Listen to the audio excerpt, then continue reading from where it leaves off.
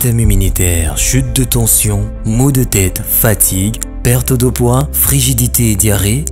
Dites adieu aux inconforts et retrouvez une nouvelle jeunesse avec une tasse de maxi bien-être au quotidien.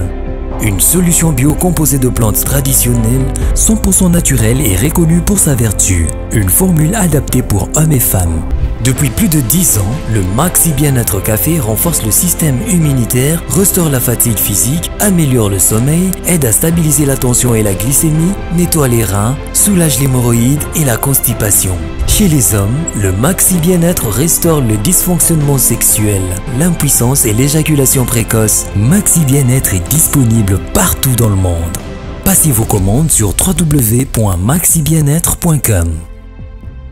Merci baba ndeko bouti kolanda publicité ya maxi bien-être produit moko tellement efficace eza vraiment sollicité ntango ezoya ba stock ezocontinue kaka kosila ekoya 2000 produits omonaka na même jour to 2 jours 3 jours ba stock esili mpo ete eza produit moko efficace bandeko balandi nini ezose passe na kati ya, ya, ya kichanga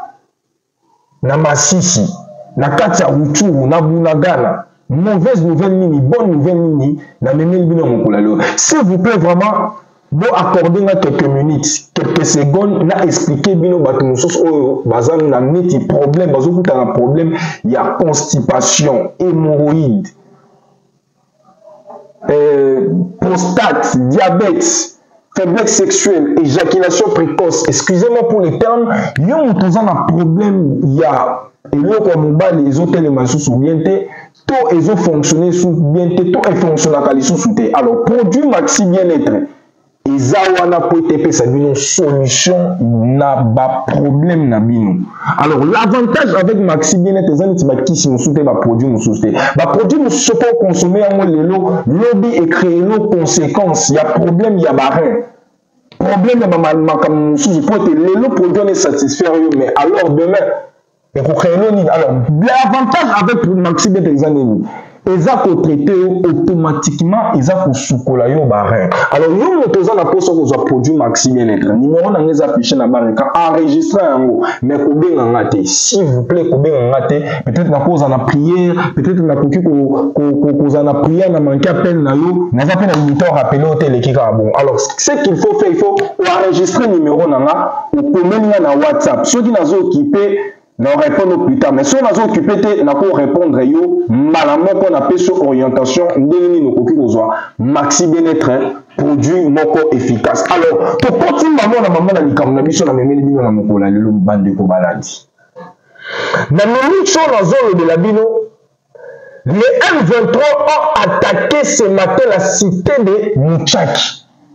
La cité de Mouchaki ezalaki attaqué na ntongo ya lelo epa ba M23. Ntango ba attaqué ba surprenaki fardc basuprenaki bawazalendo basuprenaki position ya bafardc basuprenaki position ya bawazalendo mpo ete fardc na bawazalendo bazalaki concentre na bitumba oyo ezo se passe na kati ya nyiragongo ezo se passe précisement na kati ya kimumba ezo se passe mpe na kichanga bandeko balandi ntango ba m23 basuprenaki fardc na bawazalendo na kati ya site ya muchaki heureusement nos vaillants soldats nos vaillants militaires baza bamilitaire neti ya kala te ils sont très bien formés barepondaki na attaque ya ba m23 non je peux pas dire m23 parce que ce qu'il faut savoir les m23 n'existe plus bobengaka bango lisusu ba m23 te jamais na monoko na biso bakongole tobenga bato wana esu ba m23 po ete ba m23 bazo existe lisusu te fardc na bawazalendo basilisi ba m23 babomi bango nyonso oyo ekomi koexiste kuna eza armée rwandaise na bawazalendo bazobunda na 4 armée Je vous dis quatre armées, armée soudanaise, nautaki oloba bango na émission uti koleka, armée rwandaise, armée mozambicaine, na armée ougandaise, FARDC, armée congolaise na fa na bawazalendo bazonuna na quatre armées mpo ete ba M23 bango nyonso basili. bowutaki kolanda manifestation ya baparon basalaki manifestation baboyi kagame arekrute lisusu bajeune na force atina bango na front ya rdc pour dire que baarme esili yango monaki ke paul kagame atie visa ofele visa ofele kokota na pays na ye eza précisement na wi pays oyo deja visaki barekrute bajeune na kati ya bavillage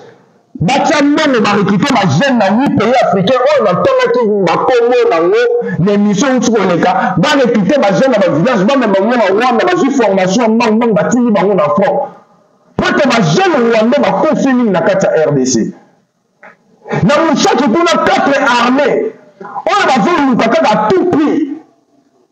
ya kokabola mboka na biso mboka na biso tona na insecurité mpo bango balia mpo bango batonga bamboka na bango fardc afrape bango me bamort ezalaki ebele te mwa ndambo 69 militaire ya 4 armé oyo batakaki fardc bawazalendo bakufi 64 militaire je vous dis ba plusieurs armes ezalaki récupéré abandonné bakimaki basundolaki minduki mpo ete minduki ezalaki kilo akona kotela bino makambo ya kichanga tobana bango mingi tobana na bino nini petit à petit évolution ya chaque mboka chaque cité avant okota bino makambo ya kichanga bunagana tokenda bino makambo tobani na makambo ya muchaki bandeko balandi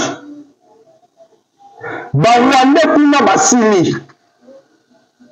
bakomi kosenga renfort na bamboka mosusu bakomi kokota na mboka na biso mpo ete babundisa biso moko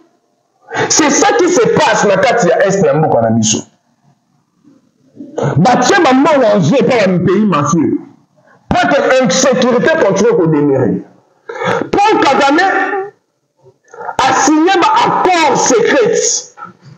ba accord ya secret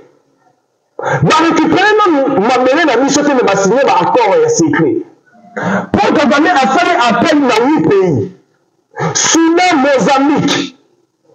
barévélation mosusu ebimaki concernant bapays wana suna mozambique uganda zambie bato oyo natangaki bankombo na bango na émission passé baoyo balanda nga bayebi yango nde nasengaka moto nyonso soki oyotya bémission il faut bolandaka bémission na biso mpo boyebaka évolution ya bainvestigation tomenaka mpo ete ntango orate émission moko to mibale émission ezoya omoni nakomi kolobela makambo mosusu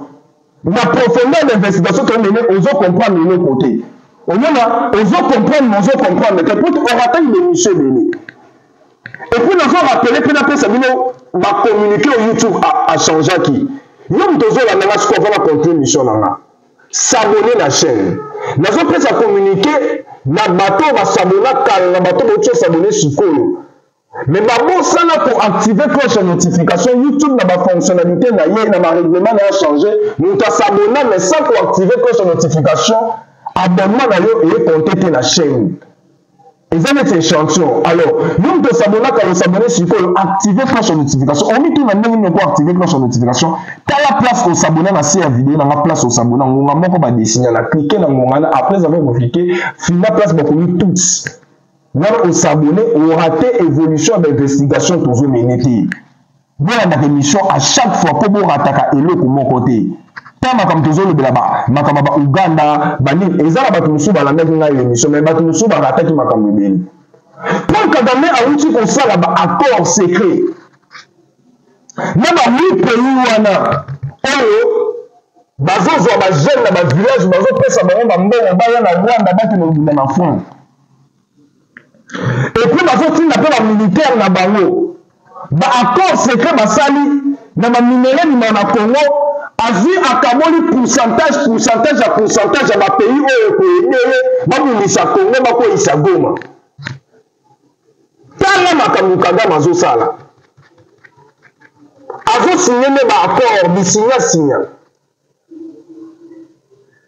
azosinene baaccord isinyasinya azo espere lobi soki bakweyisi goma na lokola soki bakweyisi goma toke na dialogue soki toke na dialogue nde bango bazo espere calcule na bango soki toke na dialogue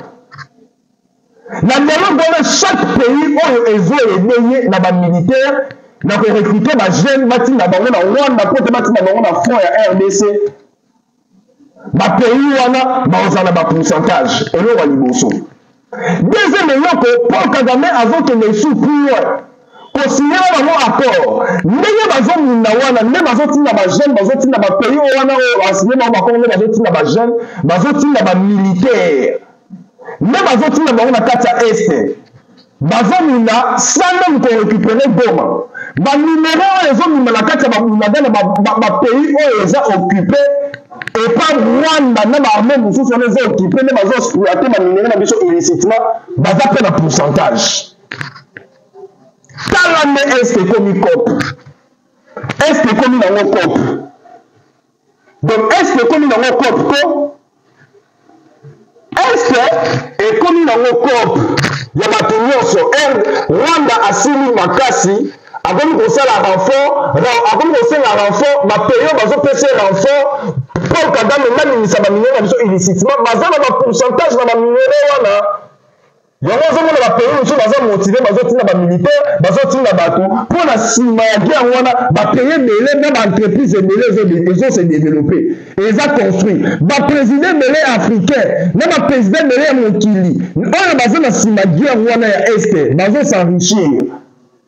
tala biso na congo tozo souffrir beaucoup de gens bazanga bamisala mais na este ezosunga bapays mosusu na baprésident mosusu na baentreprise mosusu bazo se développer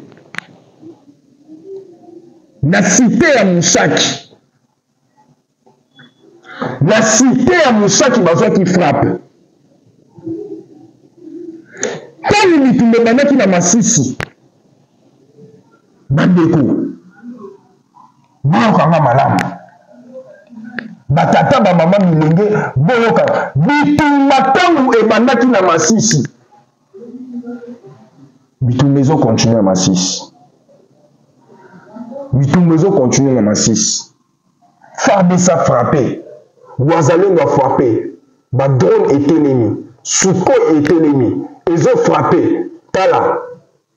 bakufi ebele bandeko bakufi ebele bakufi ebele je vous informe 65 ya masisi eza na maboko ya fardc na bawazalino touti korecupere 65 ya masisi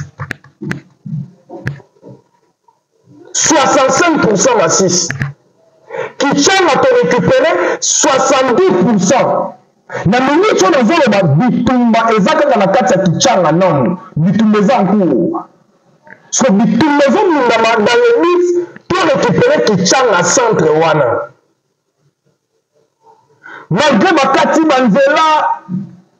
malgre bakati bapo malgre batie babarrière bacomprendre te tofrape bango epuis na kati ya kichanga toza deja na kati ya kichanga toza minda mpo torekipere sikoyo totalité ya kichanga na kichanga centre oyo etikali sikoyo tobunda bandeko une très bonne nouvelle nazo annonce bino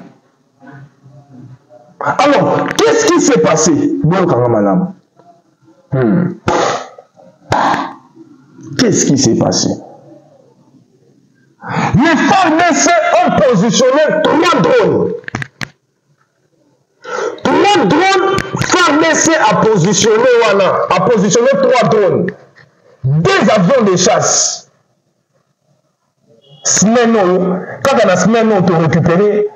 semaine outi oleka kaka na semaine oyo tomoni baavanse torécupere trois drone na deux avions de chasse ezalaki na mission oyo mission ezalaki ya kobombarde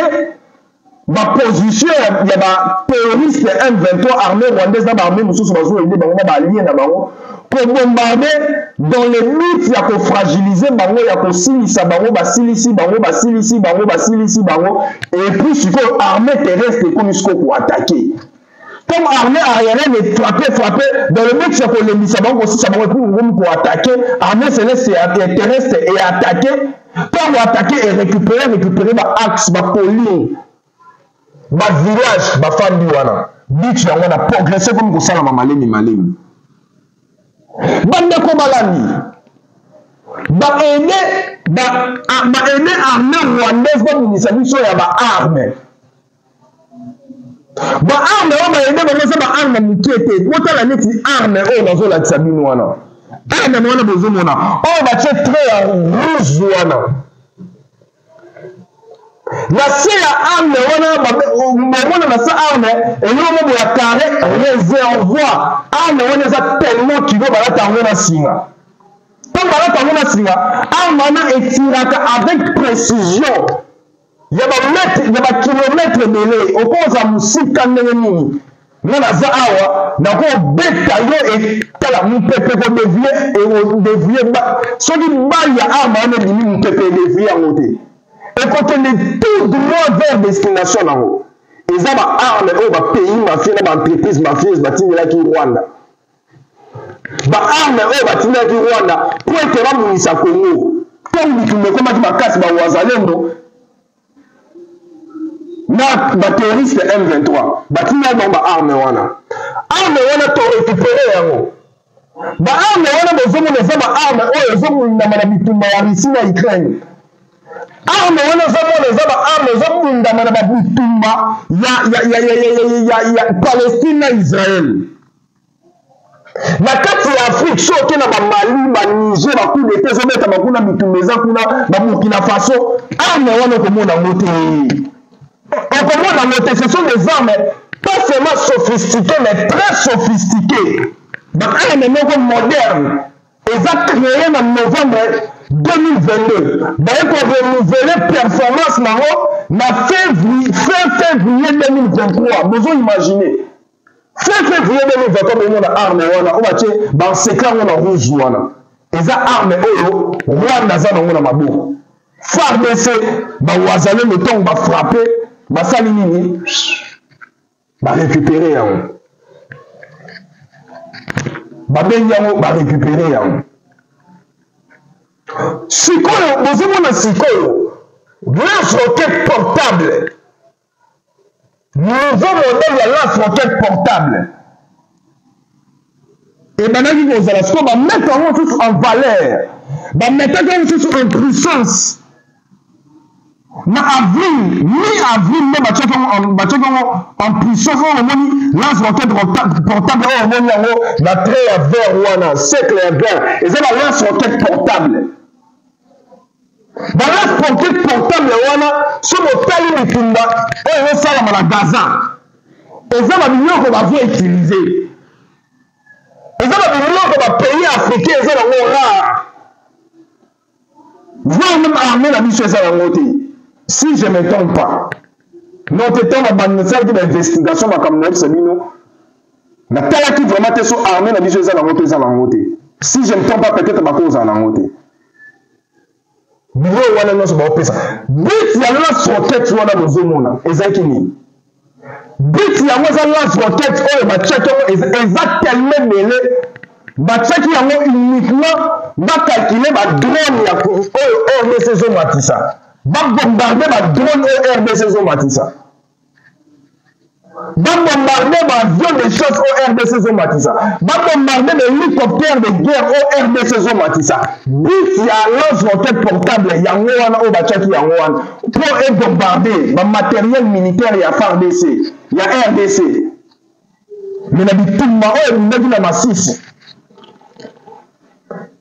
Na bitumba oyo ebundamaki na Masisi,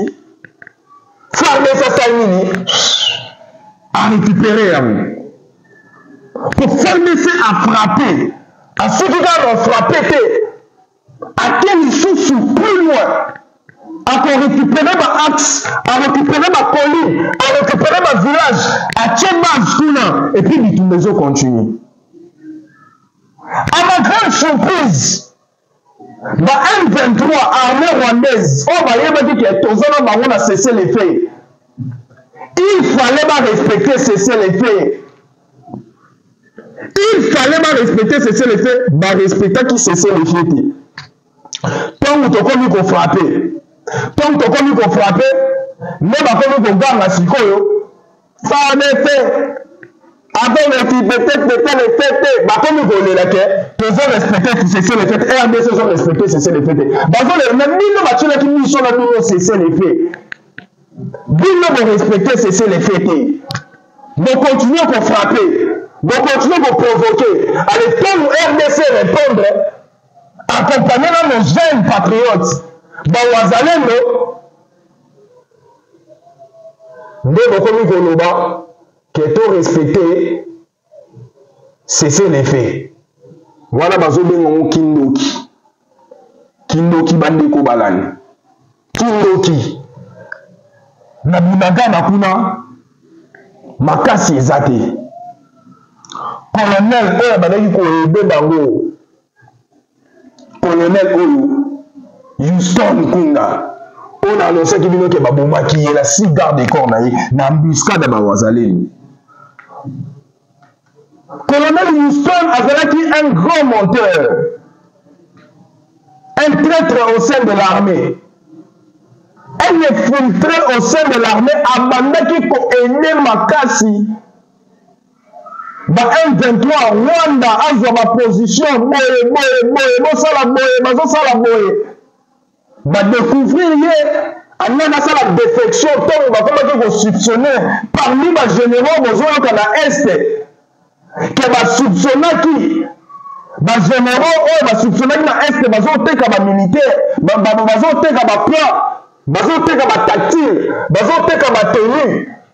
colonel wana na soupçonnaki ye te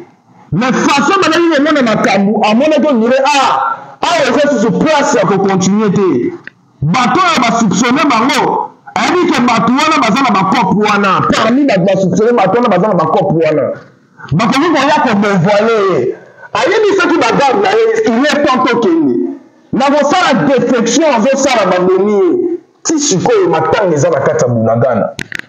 bazoyeba te ndenge nini bakosala bayebeba te ndenge nini bakoprogrese bo remarke yango bozomona mikolo oyo m23 armée rwandaise na baallie na ye bazali kofrape bango na kati kuna ya este epa bawazalendo na fardc mikolo bazofrape bango bazokoka koavanse te bazofrape bango mpo ete bango baavansaka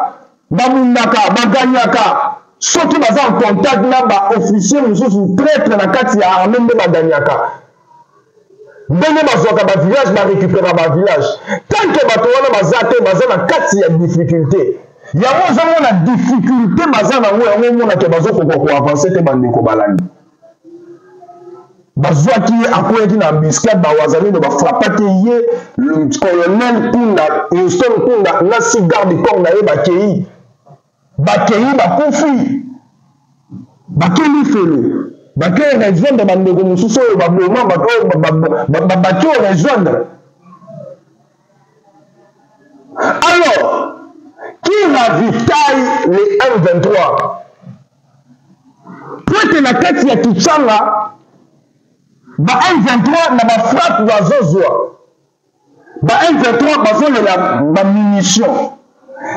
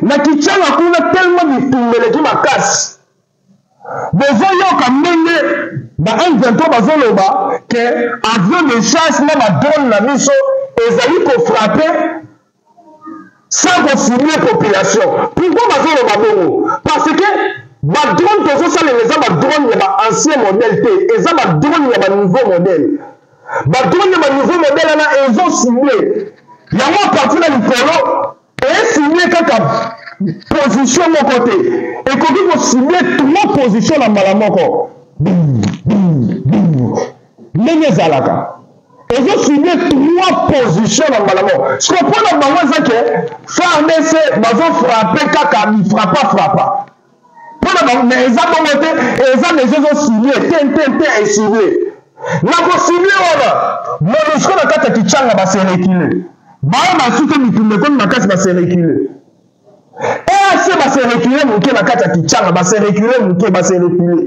na minisi oyo na bafrappe ezobetama terrain etikali kaka fardc wazalendo na armée rwandaise na baallie na ye ndenge bitumba ezobundama kuna bitumba ezo yango sikoyo kuna na kati ya kichanga bakomi kolela ke baza na bamunition te to mituna koto oyo bakati nanu nsima wana Service de renseignement bravo musala kitoko. bakati singa wana nanu ya batraitre mpo bazolambela baofficier nyonso grade kuna na batelefone na biloko na bango baza kolandela na miniti oyo jete toa na kati ya guerre tobunda libanda ifo mpe toveye na kati mpo trahison eleki siko bateto wana bazongi-zongi nsima na kozonga nsima eacp ekei monusco ekei siko kuna na kati ya kichanga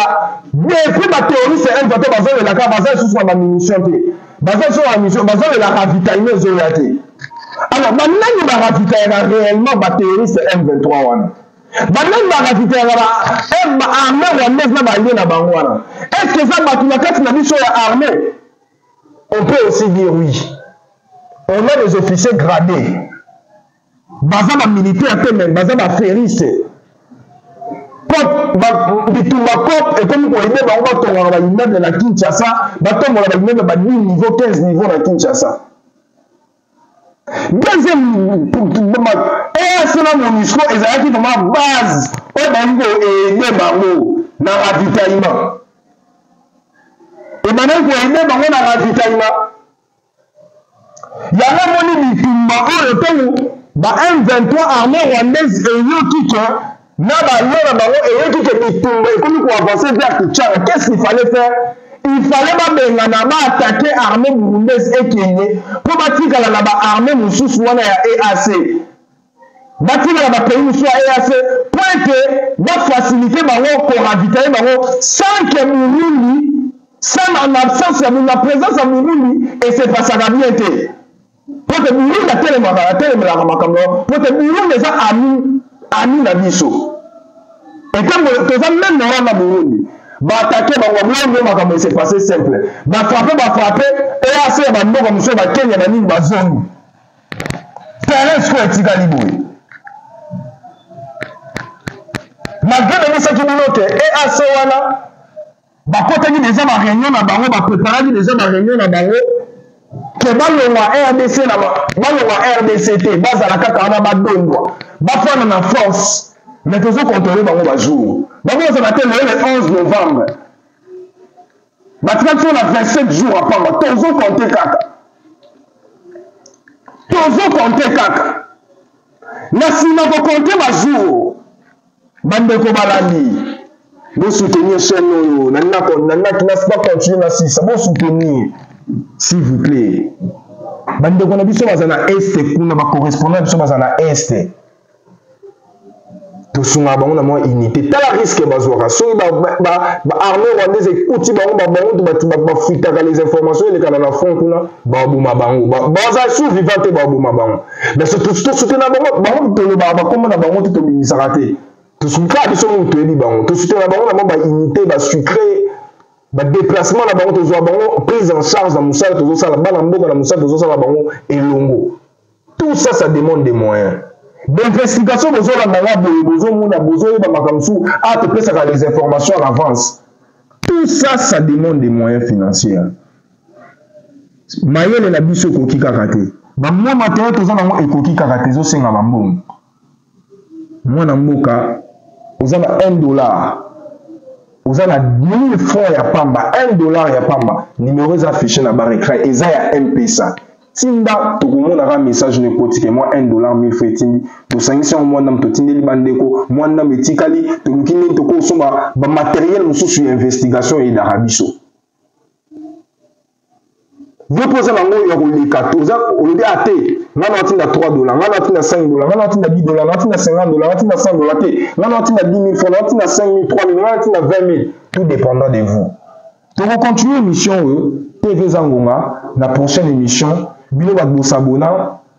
bouti osabone sikoyo bobosana te boactive cloche ya notification bobozanga eloko moko te c'était votre humble serviteur le chef mokwa ya jonathan les jeunes journalistes du peuple les jeunes journalistes des investigations banfoi banfoi banshala banshal vita mokola merci beaucoup